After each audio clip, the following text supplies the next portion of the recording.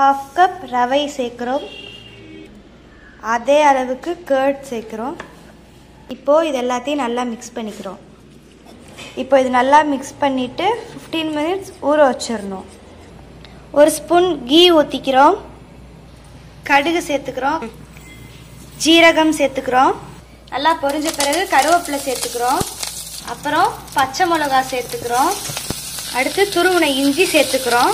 நல்லா கிண்டி ஊற்றுக்கிறோம் garlic paste சேர்த்துக்கிறோம். ரெண்டு பெரிய வெங்காயம் சேர்த்துக்கிறோம். ஆனியனுக்கு கொஞ்சமாக சால்ட் சேர்க்குறோம். ஏன்னா அப்போ தான் வேமா வேகும். கொஞ்சமாக பெப்பர் பவுட்ரு சேர்த்துக்கிறோம். ஜீரா பவுட்ரு சேர்த்துக்கிறோம். மிளகா பொடி மஞ்சள் பொடி ரெண்டு பொட்டேட்டோ நல்லா மசிச்சு ஆட் பண்ணிக்கிறோம். பொட்டேட்டோ கூட கொஞ்சம் சால்ட் சேர்த்துக்கிறோம். இப்போ இதை நல்லா எல்லாத்தையும் மிக்ஸ் பண்ணி விட்டுக்கிறோம். எல்லாத்துலேயும் ஒட்டுற மாதிரிக்க கொத்தமல்லி ஆட் பண்ணிக்கிறோம். இப்போ இது ஸ்டஃபிங்க்கான கிரேவி ரெடி ஆயிடுச்சு இப்போ அடுப்பை ஆஃப் பண்ணிவிட்டு ஃபைனலாக லெமன் புழிஞ்சு விட்டுக்கிறோம்.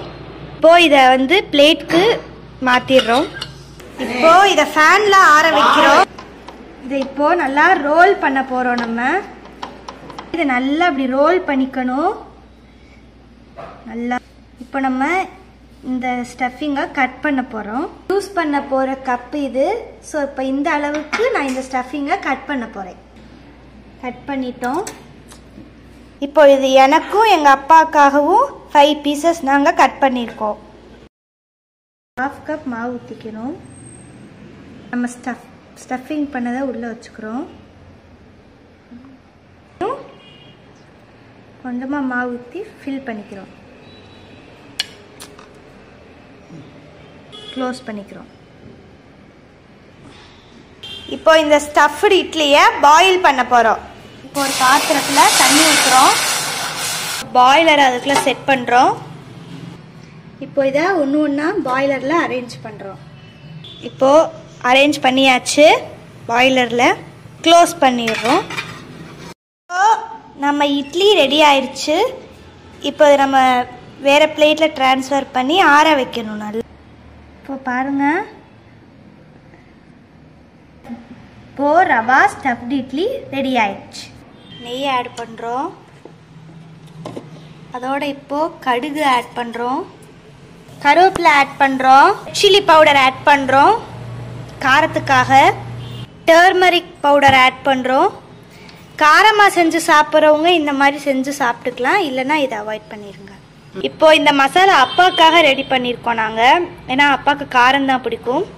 இப்போ இந்த ஸ்டஃபிங் இட்லியை இதுக்குள்ளே போட்டாச்சு. இப்போ இதை நல்லா ஸ்ப்ரெட் பண்ணுறதுக்காக கரண்டி வச்சு நல்லா ஸ்ப்ரெட் பண்ணணும். இப்போ மசாலா நல்லா அந்த ஸ்டஃப் இட்லியில் ஸ்ப்ரெட் ஆகிடுச்சு பார்க்கவே ரொம்ப ஆசையாக இருக்குது சாப்பிடணும் போல் இருக்குது மேலே டாப்பிங்ஸ்க்காக கொரியாண்டர் ஆட் பண்ணுறோம் வாசனையே அவ்வளோ சூப்பராக இருக்குது டெம்ப்ட் பண்ணுது ரொம்ப. இந்த மசாலா இட்லியை வந்து ட்ரான்ஸ்ஃபர் பண்ணிடுறோம் நம்ம பிளேட்டுக்கு இப்போ இது நல்லா கட் பண்ணிக்கிறோம். பாருங்கள் இந்த ஸ்டஃப்டு மசாலா உள்ள சூப்பராக இருக்குது இப்போது மசாலா போடாத அந்த ஸ்டஃப்டு இட்லி அப்பா கட் பண்ணுறாங்க